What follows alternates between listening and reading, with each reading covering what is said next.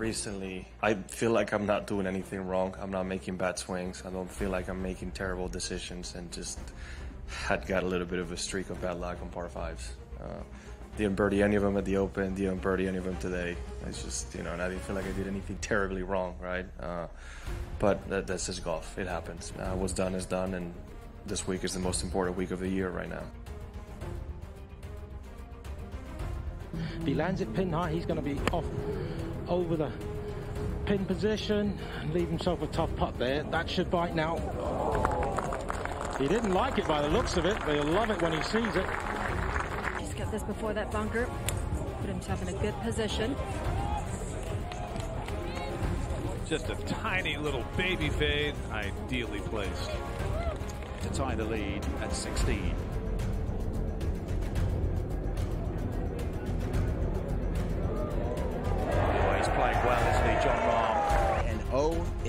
OMG, what a championship Sunday we just witnessed.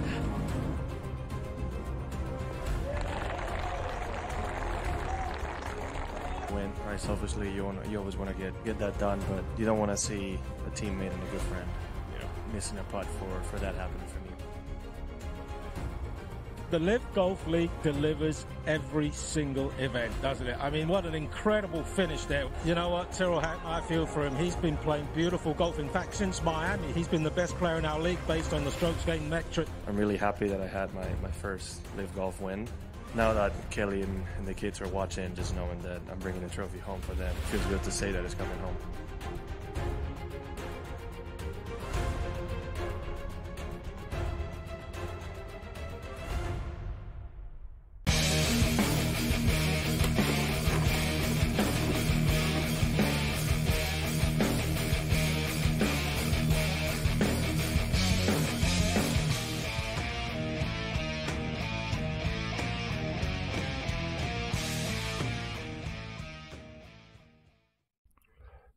This is Sports Rage. I'm Morency.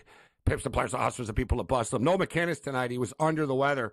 And just our luck. McInnes is one of the few people that actually knows a little bit something. Sean Sean Higgs put so much effort into the Olympics. He thought water polo, like you know, they were standing up. How deep was the pool? Um, on a more serious note, actually, how deep was the pool? There's been we were talking about this last night about how in the Olympic Village, sixty percent of the food has to be vegan and or plant based or whatever. And they they were they ran out of meat and eggs and dairy products, and athletes were complaining about their diets and about how they weren't being fed properly in the Olympic Village. And the swimmers were talking about you're not going to see world records broken because of um, you know because of our diet and because of the pool as well. So all kidding aside, Higgs asked about how deep the pool is. The water polo, whatever, dude. Like you're not standing, Sean. That's the whole point of why it, you know. but this is interesting for people that uh, are into the science of things about why there's going to be no uh, world records broken in the pool. It's too shallow. The the Olympic pools in the old days used to be two meters deep. Okay, and I, I trust me, I, I just watched a fascinating interview about this. They used to be two meters deep. About 20 years ago or so, they made it three meters deep. All right, because the the two meters it leads to more turbulence. The water bounces back up and it slows the swimmers down. So the deeper the water, the better. They so the standard world class Olympic pool now is three meters deep, but freaking France, they didn't let they didn't let them dig three meters deep. They wouldn't let them do it. They basically said you can they, they, it'll ruin our arena like they about the foundation. Like they basically told them you can go 2.3 meters deep. So you would think, well, whatever. People are swimming at the top. What does it matter? The thing is that now that it's 2.3 meters deep, it's like 50% more mass of water that's bouncing back up and affecting the swimmer's turbulence. See, I'm on top of everything here. And before we bring in the AM uh, radio affiliates, uh, we got some best of X stuff I want to get to. This is some great stuff. Uh, let's roll it. Let's do it.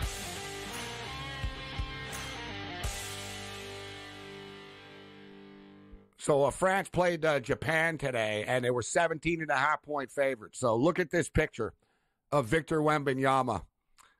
This is a dude guarding Victor Wembanyama today. He doesn't even come up to his hips.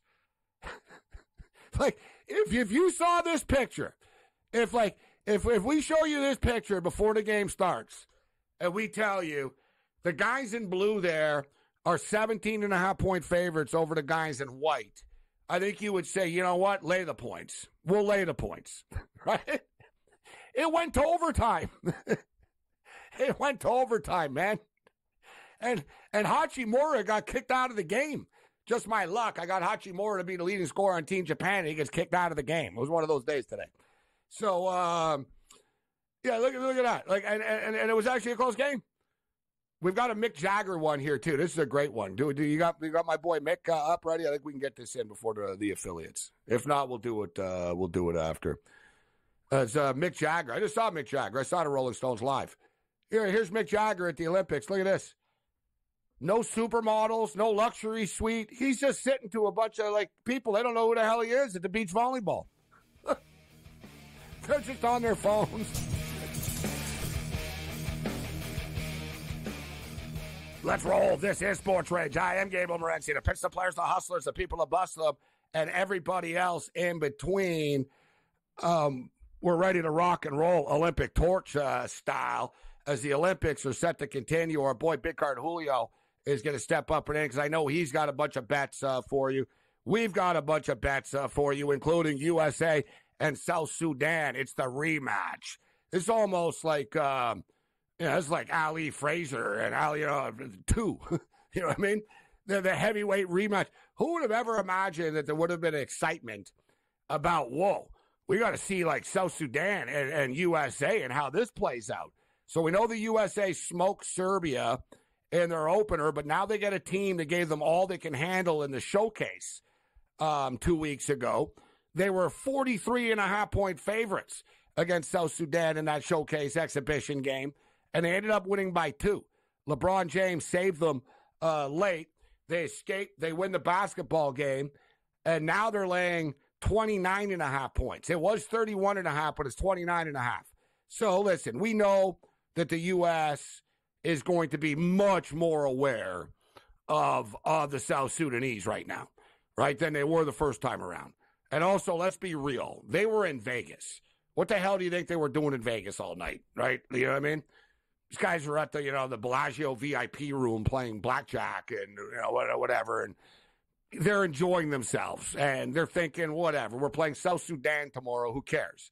So now they're going to be more focused. They're going to be more prepared. But it doesn't really mean I want to lay 29 and a half points. It opened at 31 and a half. It was actually bet down to, to, uh, to 29 and a half. Um, I'm going to roll the dice here, guys, with South Sudan. I think the USA win this game by like 23, 22, I don't know, 18. Will it be close again? I don't think it'll be as close, but when we're getting this many points, got to pull the trigger. Uh, at least I feel we've got to pull the trigger here with South Sudan getting to 29 and a half. I like the over 190 and a half right now. It's come down a little bit. Uh, we'll have more Olympic picks for you, but as far as the Olympics uh, are concerned, the three on three basketball has started. And it's really, really cool. You know, it's a, a three on three basketball hasn't really caught on in North America uh, yet. It's really big in Europe. The the European countries are really good at it.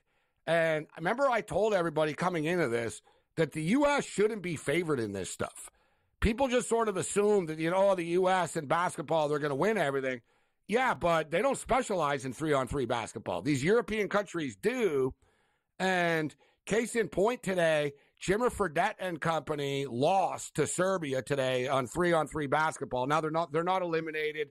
They have more games coming up, but not a great start uh, for the U.S. And the U.S. women's team lost as well. And if you recall, I talked a lot about liking Canada's women's team to win the three on three women's tournament. They started off with a win today. Speaking of women winning, uh, Simone Biles is the winningest gymnast ever in American history as uh, the U.S. wins the women's uh, men uh, women's um, team uh, gold medal.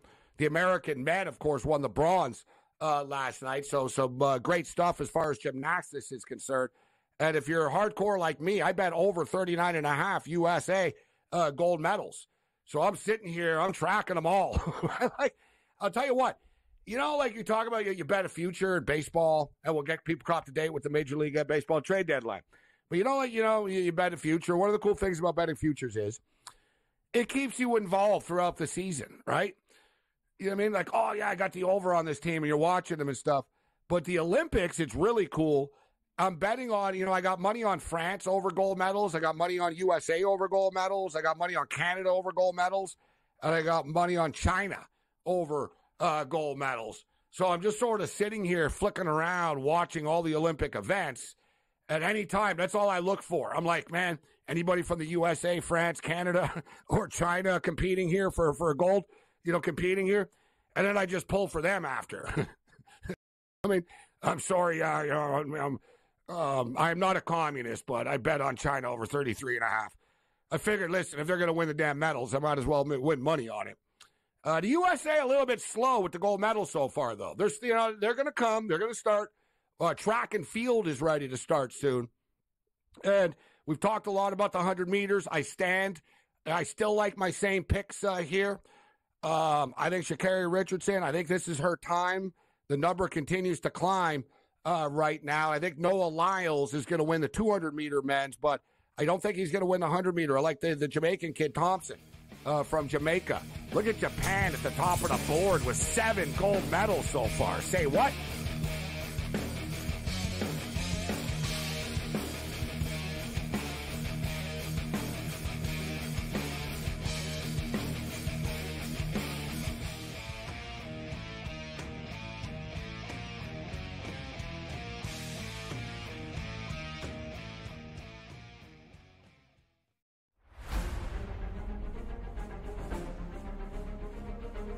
Recently, I feel like I'm not doing anything wrong. I'm not making bad swings. I don't feel like I'm making terrible decisions and just had got a little bit of a streak of bad luck on par fives. Uh, didn't birdie any of them at the Open, didn't birdie any of them today. It's just, you know, and I didn't feel like I did anything terribly wrong, right? Uh, but that, that's just golf. It happens. Uh, what's done is done, and this week is the most important week of the year right now. If he lands it pin high, he's going to be off over the pin position and leave himself a tough putt there. That should bite now. He didn't like it by the looks of it, but he'll love it when he sees it. Just got this before that bunker. Put himself in a good position. Just a tiny little baby fade, ideally placed. To tie the lead at 16.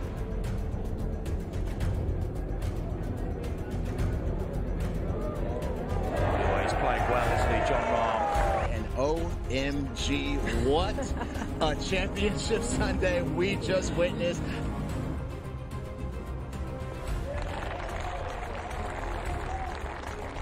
Win, right? Selfishly, you want you always want to get get that done, but you don't want to see a teammate and a good friend, you know, missing a putt for for that happening for me the Live Golf League delivers every single event, doesn't it? I mean, what an incredible finish there. You know what, Tyrrell Hatton, I feel for him. He's been playing beautiful golf. In fact, since Miami, he's been the best player in our league based on the strokes gained metric. I'm really happy that I had my, my first Live Golf win.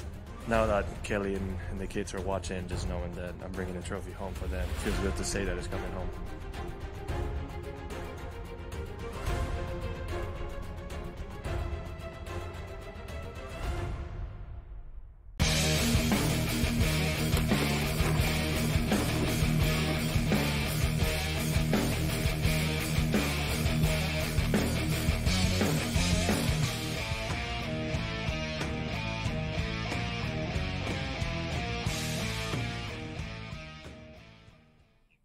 Let's roll. This is Sports Rage. I am Gabriel Morency. We're talking about uh, the Olympics. We'll get back to the baseball and the uh, the trade deadline as far as the Dodgers and the uh, the Friar game uh, right now. Uh, Dodgers got off to an early uh, lead, and San Diego have come back, and it's now five five. What a wild baseball game! This is a high intense, you know, ser- intensity series, obviously. San Diego went all in once again. Man, this team is unbelievable. A lot of people thought when their owner passed away that the the spending was over and that, you know, okay, that was just sort of a brief era where of you know the the glory year and a half, the glory year, so to speak. But this team continues to be aggressive, almost too aggressive. As I saw Bob Nightingale recap of the amount of picks that they've given up as far as in their system is concerned. Like San Diego is definitely like these guys are really going all in, which you have to give them credit for. Especially like you know what I mean. Like they could say, "Wow, look, the Dodgers, the Dodgers are." Um, the Dodgers are ahead of us. We, you know, this isn't our time right now. Let's wait for this little Dodger era to end. But they kind of know the Dodger era is not going to end. The Dodgers are always going to be competitive.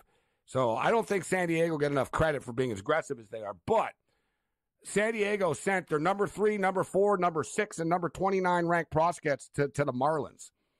They have now traded 12 of their top 15 prospects in trades this year for Dylan Cease, Luis Arraez, and now uh, Scott and uh, and Hoeing.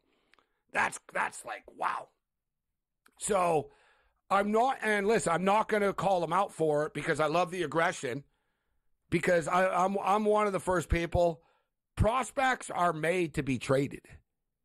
Like that's the whole point of having prospects. A lot of people are like, oh, you can't trade the prospects. No, that's the whole point. You get the prospects as real estate to to trade to you know to to win with, and you know, you keep you know your best prospects that you think can make the team. The Los Angeles Dodgers are a great example of this. Like, how many times, how many players can you look back on and yeah, and go, "Wow, man, I can't believe the Dodgers gave up on that guy. They traded him away." It's very rare, right? Like, they're always trading prospects, right? But the Dodgers are good at fleecing other teams and and knowing, yeah, listen, these guys aren't available, and everybody else is. So you look at you know you look at what the Dodgers did with with getting Kopech, and they got Flaherty as well, compared to what San Diego did. And listen, I'm giving credit to San Diego for being aggressive and trying to win, but at the same point in time, it seems to be a little bit excessive. Number three, number four, number six, and number twenty nine. And now you've traded 12 of your top 15 prospects. Like, if you're trading 12 of your 15 top prospects, it better be like, yeah, listen, we're going to win the World Series because we're going to do this. I guess they feel that they've got a puncher's chance if they get into the playoffs. And you know what? I think they do if they get into the playoffs.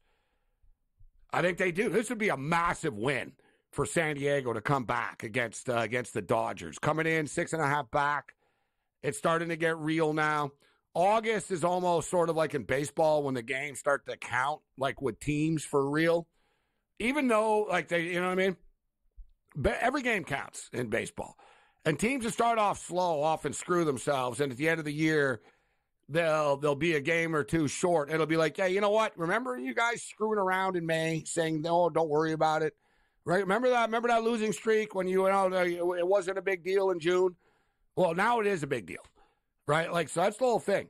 Like you know, the Yankees are a classic example of that. Like you know, like, dude, the Yankees were like five and twenty-one or something like that. I think they were five and twenty-one on a twenty-six game stretch. And look, it didn't really affect them that much because they won so many games early. The Los Angeles Dodgers lost a ton of games going into the All Star break. Didn't really matter because they won so many games already. So it really matters to build, you know, to, to, to win at any time of the year. But I've been around Major League Baseball teams and in clubhouses and stuff, and I've noticed, like, and I see it, especially with the younger teams, the pressure gets real suddenly. You know what I mean? Like these games earlier in the regular season don't really mean much. Like, you know what I mean? Like they mean something, but to the players, 162 games, it's a job. They're just going out there and plugging away and and you know trying to put numbers up. But when it gets to August, they start. They know the standings. I guess it's the best way of putting it. the scoreboard watching begins, and they sort of know what teams like. Oh, this team and that team's ahead of us, and right. It's sort of the pressure starts to get a little bit realer uh, right now. So speaking of pressure, France today, wow. And and this leads into what's coming up here. Our boy Cam Stewart threw this out earlier about liking Puerto Rico plus the 17 and a half points against um, against Jokic and Serbia in basketball. And I can't disagree with it. We've seen, all right, this has been a, you know quite an underdog tournament uh, so far for the most part. The USA throttled Serbia. Canada did um, cover today against Australia, It was a pretty close game all game, but Canada ended up pulling away in the fourth quarter. RJ Barrett's going off in this uh, tournament. So Canada's doing really well. Canada's 2 and 0 as well right now. But as far as like the point spreads are concerned, Canada didn't cover their first game against Greece. They were seven and a half point favorites. They won by seven. Um, today, Germany got all they can handle until they pulled away late uh, in their basketball game. Uh, France, though, were 17 and a half point favorites today, and um, they went to overtime. Dude, Japan were up 84 80 with 10 seconds left, and France were mad. Like they were like Wembanyama, like really. I never seen him look so distraught. Like he really looked up. He looked like partially mad and partially sad, like he was gonna cry almost. Like he was really rattled. He missed a three late in the game, and like the wheels fell off for France. Japan, like you know, we're up by four, and it was like, oh boy, this is wow. France are gonna lose for real. They hit a three with ten seconds left, and the guy got fouled. Strazel of all people got fouled. He hit the free throw, four point play. They went to overtime, and Wembanyama scored like eight straight points in overtime and started blocking shots. And like Wembanyama took over in overtime, and they ended up escaping in overtime. So listen, I think I think both games we're gonna have close basketball games coming up here. I think Puerto Rico can hang around uh, with Serbia. Serbia play kind of a slower tempo. It's only a 40 minute game. And something to be noted if you're laying 30 points with the U.S., it's a 40 minute game. Are they going to smoke them that quickly?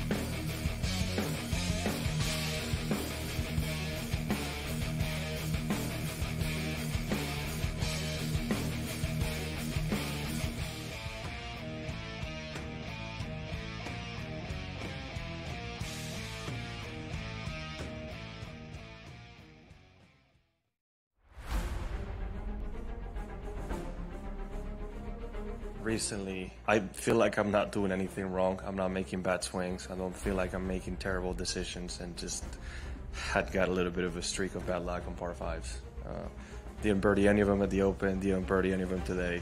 It's just, you know, and I didn't feel like I did anything terribly wrong, right? Uh, but that, that's just golf. It happens. Uh, what's done is done, and this week is the most important week of the year right now. If he lands it pin high, he's going to be off over the pin position and leave himself a tough putt there. That should bite now. He didn't like it by the looks of it, but he'll love it when he sees it. Just got this before that bunker. Put himself in a good position. Just a tiny little baby fade, ideally placed. To tie the lead at 16.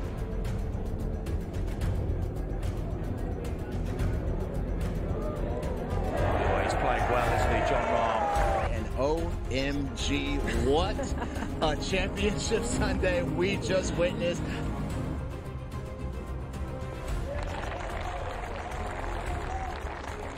win, right? Selfishly, you want you always want to get get that done, but you don't want to see a teammate and a good friend, you know, missing a putt for for that happening for me. The Live Golf League delivers every single event, doesn't it? I mean, what an incredible finish there. You know what, Tyrrell Hatton, I feel for him. He's been playing beautiful golf. In fact, since Miami, he's been the best player in our league based on the strokes gained metric. I'm really happy that I had my, my first live golf win. Now that Kelly and, and the kids are watching, just knowing that I'm bringing a trophy home for them, it feels good to say that it's coming home.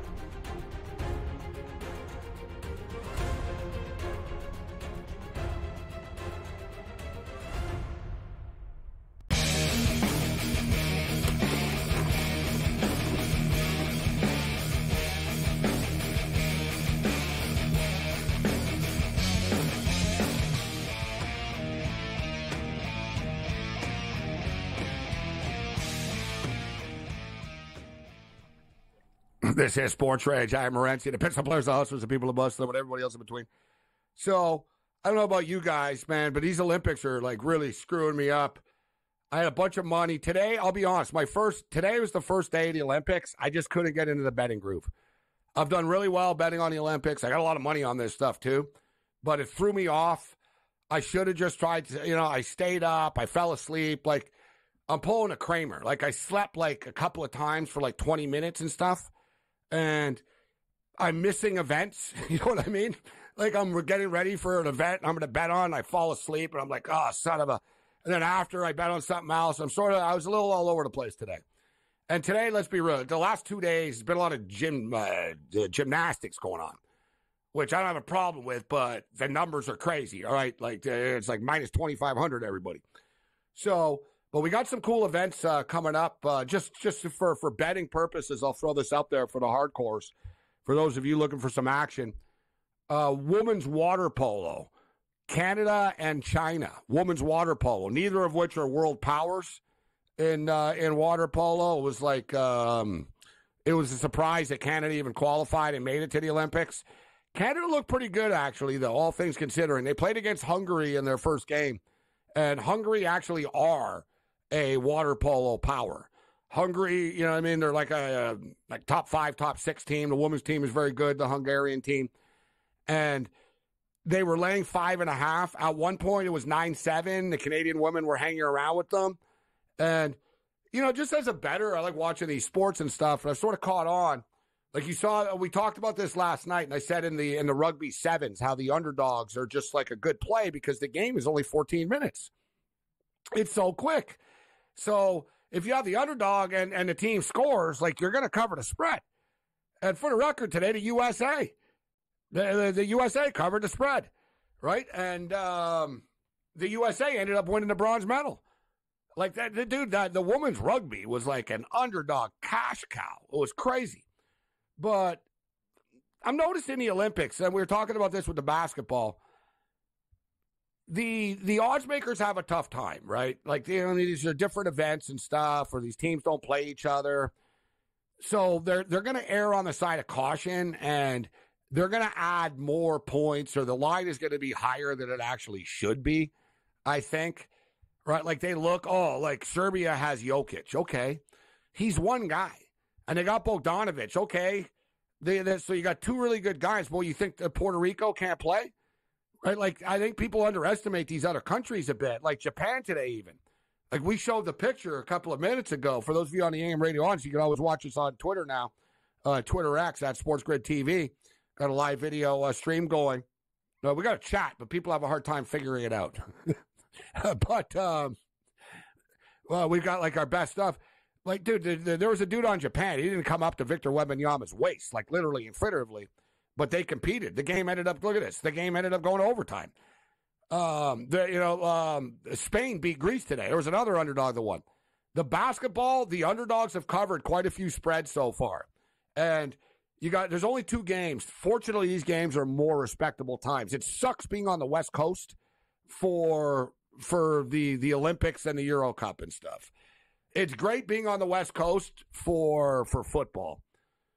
It, it, to me, like I love it. Like the 10 a.m. NFL starts and like the college football starting, college football game days on at like 6 a.m. and stuff, right? Like the football stuff is really cool. Baseball, the daily NBA grind and the baseball grind is cool on the West Coast you know, the game start at four o'clock instead of seven o'clock.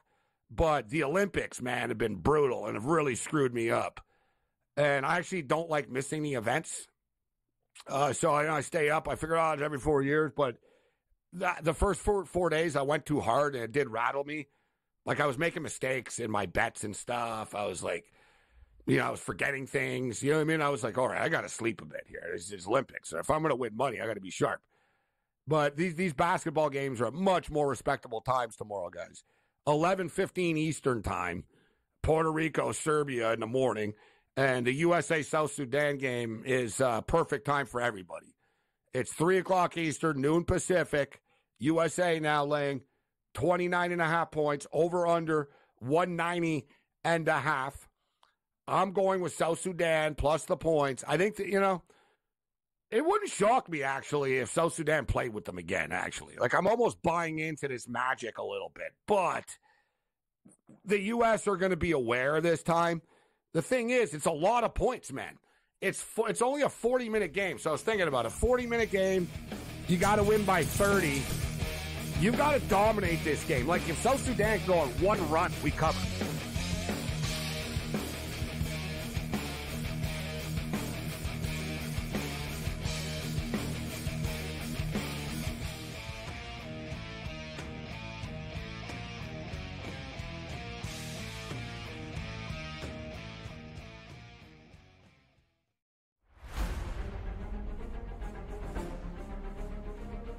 Recently, I feel like I'm not doing anything wrong. I'm not making bad swings. I don't feel like I'm making terrible decisions and just had got a little bit of a streak of bad luck on par fives. Uh, didn't birdie any of them at the Open, didn't birdie any of them today.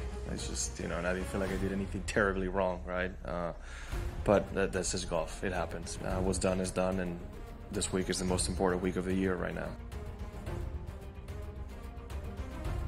If he lands it pin high, he's going to be off over the pin position and leave himself a tough putt there. That should bite now. He didn't like it by the looks of it, but he'll love it when he sees it. Just got this before that bunker. Put himself in a good position. Just a tiny little baby fade, ideally placed. To tie the lead at 16.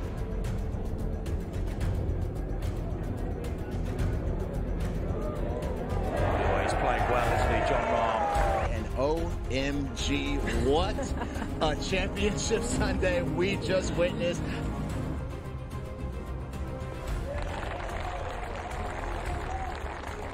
Win, right? Selfishly, you want you always want to get get that done, but you don't want to see a teammate and a good friend, you know, missing a putt for for that happening for me. The Live Golf League delivers every single event, doesn't it? I mean, what an incredible finish there. You know what, Tyrrell Hatton, I feel for him. He's been playing beautiful golf. In fact, since Miami, he's been the best player in our league based on the strokes gained metric. I'm really happy that I had my, my first live golf win. Now that Kelly and, and the kids are watching, just knowing that I'm bringing a trophy home for them, feels good to say that it's coming home.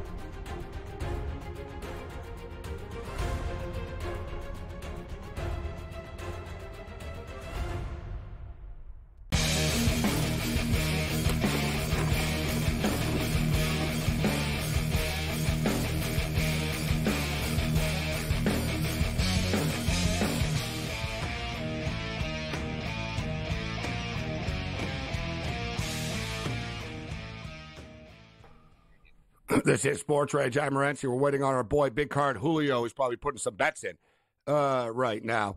San Diego just came back and beat the Los Angeles Dodgers. What a massive big time win uh, for them. Talking about a team that's peaking at the right time. Dodgers were up uh, 5 1 in this baseball game. And uh, Merrill hit a home run in the ninth. Machado hit a home run in the ninth. And they win in the bottom of the, the 10th. Uh, just a dramatic victory, uh, Petco Park Stadium. And thing is, too, like just beating the Dodgers even bigger. And this goes back to, remember, we talked about this after the Dylan Cease no hitter about the enthusiasm of the baseball team and the environment that it creates. Like these teams don't think about that when they pull their pitchers when they're on the verge for a no hitter. It's like, you know, especially if you're a contending, you're, you're on the verge of contending type of team. And it's like, listen, you pitch a no hitter, it really gets the clubhouse going, man, and it really fires up the other pitchers now because they don't want to let down like they next next man up type of deal. And you look back, like the momentum that San Diego has started to build, that no hitter was a big part of it, and it's just another big time win. And it's such a long season, a baseball season. It's about peaking at the right time. The San Diego baseball team is peaking at the right time right now. As far as playing their best baseball, you get healthy, play your best baseball, and give yourself a puncher's chance. And you look at the you look at the National League picture. The Dodgers are a juggernaut. You know it is. You know, no one can dispute that. But San Diego beat the Dodgers in the playoffs. I'm a Dodger fan. I'm aware of it. San Diego beat the Dodgers in the playoffs. So San Diego's not scared of the Dodgers. They just beat them tonight, right? They're not scared of the Dodgers. And you look at the other teams in the National League, like I talked about, like Philadelphia. I think Philadelphia peaked too soon all the time. They did this last year. I think the Braves are a team still that are kind of dangerous that I wouldn't write off because they haven't, they've had a lot of adversity. They haven't really had a run yet. I think they could have that in them. But I tell you what, man, San Diego flying under the radar and as dangerous as anybody in the National League is right now. Like, if if we said, all right, the playoffs start this weekend, San Diego's as dangerous as anybody is. They have as much of a chance of winning as LA, Philadelphia, Atlanta, or any of these other teams do. I believe our main man, Big Card Julio, is ready to step up. And how you doing tonight, Julio? Boy, Gabe, I tell you what, this time of year, this is when we start getting into baseball. I know there's so much sports going on in the Olympics and the TBT and CFL and college football bets lining up. But after the deadline, this is when we start to really get interested with baseball. And look, look what happens when you leave a poor baseball team. Things start things things the sun is ever so brighter. Jazz Chisholm with the Yankees, Tommy Pham with the Cardinals. Th- things are brighter when you leave poor baseball teams. So I love this time of year, and this is when real baseball starts to begin. And you know what? It was a big time series, man. L.A. and San Diego, obviously rivals, and the Dodgers playing good baseball right now, despite all their injuries. They put up a three spot in the first. They're cruising. They're up five one. Like I said, these are just sort of season defining wins. That no hitter I talked about, getting the clubhouse fired up, getting you know the the fan base back in it, and wins like this against teams like the Dodgers also go a long way. Julio, like I said, you know as far as the betting futures are concerned, eh, San Diego, I, I mean it. They could play with anybody in the playoffs, Julio. They, they, dude, and they're getting you know they they get Musgrove back they they can they can compete with anybody in a, in a, in a series. The Dodgers, the Phillies, the Braves, like San Diego are back right now, baby. They're eleven to one on the overnight markets right now, Gabe. As uh, the the late night games start to close, the futures get reposted. Eleven to one to win the National League is very tantalizing. As you were talking about the Phillies, whether or not they peaked, does Atlanta have enough pitching to get them over the hump in the postseason? Milwaukee even though they've been playing great, they they always have issues. So if we're just playing numbers, eleven to one to win the National League is very interesting. And I was also looking at Kansas City. I'm a prisoner of the moment, maybe. This is a team with a high walk rate. It's a tough team to strike out, and bat, at bats are more precious in September and October. Twenty to one for Kansas City to win the American League. You know what? I also don't have a problem with that, Julio, just because you've seen it before, dude. Baseball, the, the if is there a sport seriously? Is there a sport where the regular season means less like as far as going into the playoffs is baseball, Julio? There isn't. Yeah. And I would say the only other one is the NHL. Uh, the NHL is hockey, as we see all the time. Like the President's Cup trophy winner never wins. You know what I mean? The team that's the best record. And, and same thing in baseball, guys. Baseball is very similar. The team with the best record does not have a good track record of winning the World Series in baseball. Like you play 162 games, all right, good for you. You win, you win your division. Oh, we had a great year. You won 112 games. Whatever, dude. You're playing in a five game series suddenly. Yep. Against and, and, and you're also playing against a team, Julio, that's already played the little wild card series that's hot. You know exactly. what I mean? So like exactly. you've been off for a couple of days. This other, and baseball is an everyday sport. So suddenly you haven't played for five days. This team that's been trying to get into the playoffs, been playing playoff type baseball for the last month, comes in smoking hot, takes game one on your home field, Julio, of, of the series. Yep. Next thing you know, you lose game two and you're screwed. You're out of the playoffs. Exactly. And bo- both of these teams are in wild card positions. Uh, Minnesota, Kansas City, there's no passing the the the, uh, the Guardian, so they're going to be in the wild card spot going into the postseason, barring any catastrophe. I just love both of these numbers, Gabe. You you turned me on to San Diego, and I really love this Kansas City number. So let's ride the the, the Friars and the Royals in the playoffs. Yeah, well, I just lost uh, uh, money betting against San Diego with the Dodgers. I was feeling pretty good about it, Julio. So that's how I work. Here. I'm like, all right, they beat me tonight. I'm going to get my money back. I'll bet a future on them now. like, you know what I mean? exactly. all right, I'm sold. I'm sold now. you know, like I've got hit in the head over the hammer. No, I've been talking to you. It's true. I've been talking about San Diego for a couple of weeks actually, about like just sort of noticing these little turning points. And I talked about it earlier on the program about baseball teams and like success and betting and stuff, but baseball clubhouses, the atmosphere in the clubhouse really, really, really, really, really matters. It does. And I'm not talking about everyone having to be buddies and stuff, right? Because like anyone that's been in clubhouses, you'd actually be surprised how little players talk to each other. But it's more, I'm talking about the atmosphere, right? Like, you know, basically, like if you hear like Julio, like if a team is fighting over the music, you know their clubhouse isn't very harmonious. You know what I'm saying? Like there's sort of, yeah, like there's a lot of like, and we are talking like the White Sox clubhouse. You know, it's a hellhole. You know, everybody would, you know what I mean? Just what's going on with our franchise. It's not a fun place to go. It's not a good work environment.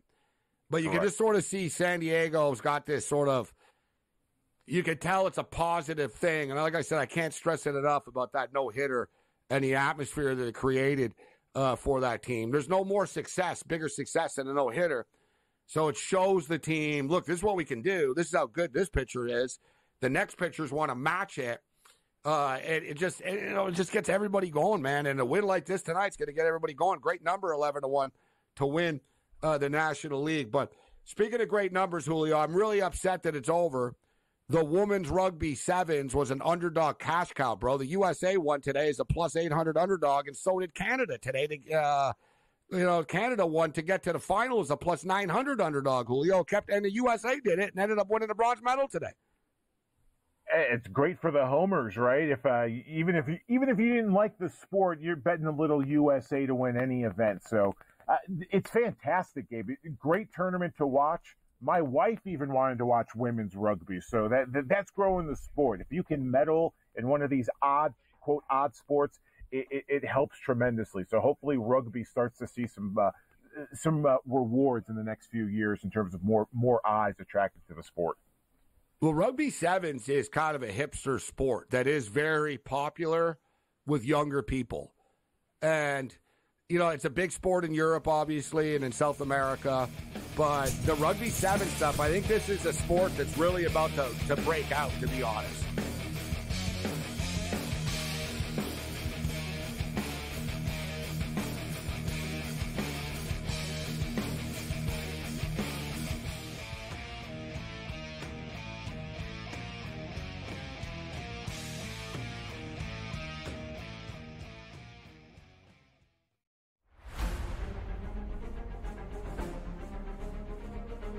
Recently, I feel like I'm not doing anything wrong. I'm not making bad swings. I don't feel like I'm making terrible decisions and just had got a little bit of a streak of bad luck on par fives. Uh, didn't birdie any of them at the Open, didn't birdie any of them today. It's just, you know, and I didn't feel like I did anything terribly wrong, right? Uh, but that, that's just golf. It happens. Uh, what's done is done, and this week is the most important week of the year right now. If he lands it pin high, he's going to be off over the pin position and leave himself a tough putt there. That should bite now. He didn't like it by the looks of it, but he'll love it when he sees it. Just get this before that bunker. Put himself in a good position. Just a tiny little baby fade, ideally placed. To tie the lead at 16.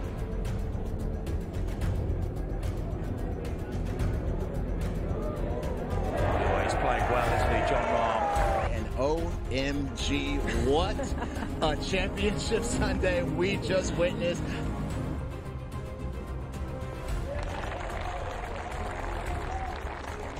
win, right? Selfishly, you want you always want to get get that done, but you don't want to see a teammate and a good friend, you know, missing a putt for for that happening for me. The Live Golf League delivers every single event, doesn't it? I mean, what an incredible finish there. You know what, Tyrrell Hatton, I feel for him. He's been playing beautiful golf. In fact, since Miami, he's been the best player in our league based on the strokes gained metric. I'm really happy that I had my, my first live golf win. Now that Kelly and, and the kids are watching, just knowing that I'm bringing the trophy home for them, it feels good to say that it's coming home.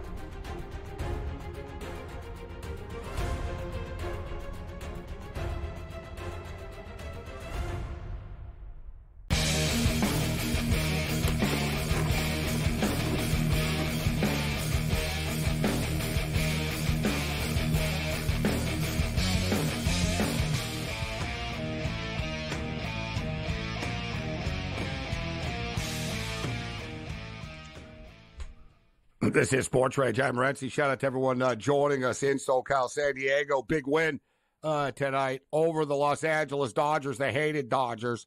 And me and Julio were just talking about how San Diego 11 to 1 to win the uh, the National League. Very good odds. They can play with anybody.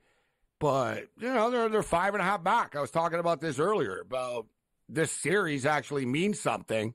And when the Dodgers were leading, I said, wow, you know, statement win for the Dodgers, basically kind of putting the fire out, and you know, San Diego with this series, and you know, extending the lead instead of letting San Diego shorten the lead. Uh, but uh, big time win tonight. But let's get to the Olympics. And uh, Julio, looking at the official medal count right now, Japan surprising everybody, seven gold medals uh, for Japan, the most so far. China has six uh, gold medals so far. Australia is owning the pool. They've done very well in the water, Australia. They've got six gold medals. France, France, the host nation, uh, pretty good start for France. The big disappointment that they lost the women's rugby. They were supposed to win gold there, but France has been very good in the in the fencing. There was a there was a final where they were both from France. They're up to five, and France is really good at track and field as well. I've got over 26 and a half gold medals for France. I got over 33 and a half for China. I got over five and a half for Canada, who have two, and I've got over 33, 39 and a half, excuse me, 39 and a half for the USA. And Julio, a little bit slow. I'd say a little bit of a slower start, Julio, for the U.S. as far as gold medals are concerned, bro, with four right now. And you'd expect Team USA to dominate in the pool on the, on the track. That's how they accumulate these large gold medal. They don't counts, dominate right? the pool anymore. Australia I does know. now. I know. Australia yeah, is the king of the pool. That's just it's not. It is what it is. They are, and and in the women's side, Julio, Canada have come up and sort of surpassed the USA on the women's side of being like the number one contender to uh, to Australia. As you saw, Summer McIntosh fin- had, finished ahead of Ledecky even the other night. And sometimes, in terms of world sport, it's good for the U.S. to get a little reminder that you, you have to dominate year round in these sports. So maybe some reinvestment in these sports can help in the years to come, especially when we get to 28 in the LA games. No, good, great call, Julio. Like 2028, the U.S. Olympic Committee is going to be all in. Same thing. Like, remember growing, at least me growing up uh, in the 70s into the 80s, like it was kind of the U.S. was dominant, man, in, in gymnastics. You know what I'm saying? And Right. now it's like, wow, the U.S. men win their first medal since 2008. It's like, wow, like really, like you know what I mean? Yeah. Like you said, the, the- you know, the world, the world, the world has changed, but the U.S. will start racking up some gold. The U.S. is going to do really well at track and field. Uh, they'll start racking them up. But I'm a little bit concerned. You know what I mean? I think it's going to be close to the number. But without being stated, Julio, as far as parlays are concerned, let me start throwing out some some bets. I want to hear what you got for us. But I'm looking here right now. Most uh, most gold medals. USA's minus 400 right now. China's plus 275. France is um, is 100 to one. It's like so. It's basically USA and China. USA will finish with uh, more than China when it's all said and done. You know what I mean? And, and you know what the differences will be, Julio? Like the U.S. basketball team, men's and women's, there's an extra couple of goal. Like, you know what I'm saying? Right. U.S. women's soccer, like, there's just going to be enough. The, the numbers come down, bro. Like, this was like minus 1,200, Julio, before the Olympics started. That's why I'm looking now. I'm like, wow. But I think it's a little bit of an overreaction. We're only a couple of days into this thing. And China only has a certain amount of events that they're going to dominate. It's sort of like Japan. Japan have kind of topped out here. Right. I'm still waiting for the U.S. And a good thing about this bet is minus 400. You can put it in parlays, Julio. USA most gold medals. I think they'll still win this. No, I like that as well. And you can start stacking them with uh, maybe your season win totals in college or pro football to move it up to plus value. And again, it's going. i- i- If you're looking at these bets, start looking at the other countries. What other sports do they have the rest of the Olympics? Because, you, you, like you just said, the U.S. should dominate on the track. Basketball, they should pick up some gold medals as well. Maybe even women's uh, three-on-three basketball. Who knows? But I, I like I- that I- play game. Very good play. Well, if you recall, I talked a lot and I warned everybody about the um, about the U.S. women's three on three team. I said they shouldn't be favored. I said Canada's going to win. Canada. yeah, so far so good. Yeah, they won their game today, and the U.S. lost their game today. I know it's only one game, but there's not a lot of room for error in this round robin. Uh, USA men also lost today, and I thought the U.S. men were overrated uh, as well, but I did bet on them today. That game was a lot of fun. They were in it, but uh, one of the Barry brothers is on USA, and he committed a uh, a technical foul And anyone, dude, it's it's up to 21, Julio. So like they're basically trading buckets, and Right. he smoked the guy in the face, and it was two free throws and possession. So they hit their two free throws and they hit a three point shot, but the three point shot and three on free is two points. But so it was a four point swing. Like the game went from 14 12 to 18 12. Like the game was over after that. Like there's no room for error in this stuff. Like you can't be stupid. And the U.S. got, you know, they were kind of stupid and they lost the game because of it. But I'm just telling you guys right now, moving forward, the USA are not winning. I don't think they're going to win the either the three on three, the the woman or the men. I didn't think they were going to win the women. And watching, bro, like they just threw it. They just threw a team together. Like Jimmer Fredette's bouncing around, playing in all these tournaments and stuff. Like these Eu- European teams play together all the time. Like they take three on three seriously. So What I would have- just a heads up for people: Gabe- fade the USA teams moving forward on three on three.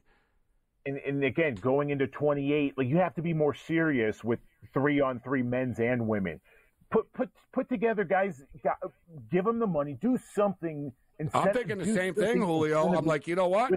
If you want to, you want to win. How come there's not NBA players on a three on three like who are buddies? exactly, or like Euro three League guys, that on the same the same NBA team. They're the three buddies. You know what I mean? Say, man, let's play together, man, in this, and let's do this. Like, you know, why not? You know, like if you want to win, I'm just I'm just stating, like se- sending these I people agree. like same thing like Hailey Van Lith. I like Hailey Van Lith. She's a good college basketball player, Julio. She's not even in the WNBA yet, bro, and she's playing against grown women in Europe for a gold medal.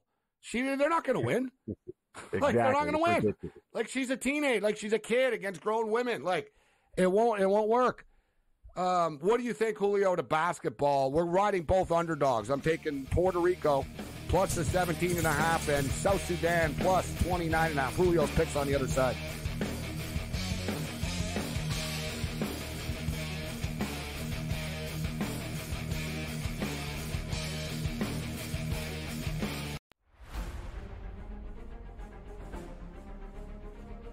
recently i feel like i'm not doing anything wrong i'm not making bad swings i don't feel like i'm making terrible decisions and just had got a little bit of a streak of bad luck on par fives. Uh, didn't birdie any of them at the open didn't birdie any of them today. It's just you know and i didn't feel like i did anything terribly wrong right? Uh, but that, that's just golf. It happens. Uh, what's done is done and this week is the most important week of the year right now. He lands it pin high, he's going to be off over the pin position and leave himself a tough putt there. That should bite now. He didn't like it by the looks of it, but he'll love it when he sees it. Just got this before that bunker. Put himself in a good position. Just a tiny little baby fade, ideally placed. to tie the lead at 16.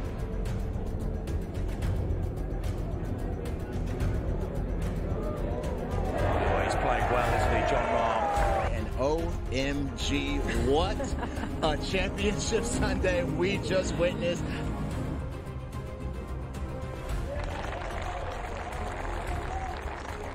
win, right? Selfishly, you want you always want to get get that done, but you don't want to see a teammate and a good friend, missing a putt for for that happening. The Live Golf League delivers every single event, doesn't it? I mean, what an incredible finish there. You know what, Tyrrell Hatton, I feel for him. He's been playing beautiful golf. In fact, since Miami, he's been the best player in our league based on the strokes gained metric. I'm really happy that I had my, my first live golf win. Now that Kelly and, and the kids are watching, just knowing that I'm bringing the trophy home for them, it feels good to say that it's coming home.